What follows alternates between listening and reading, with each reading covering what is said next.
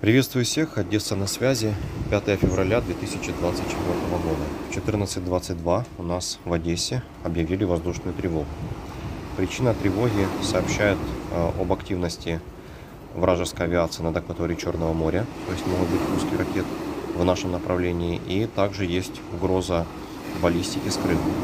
На данный момент, время сейчас 14.27, уже прошло 5 минут, э, с начала воздушной тревоги все тихо, вот, все спокойно, поэтому я думаю, что уже, э, наверное, никаких ракет не будет.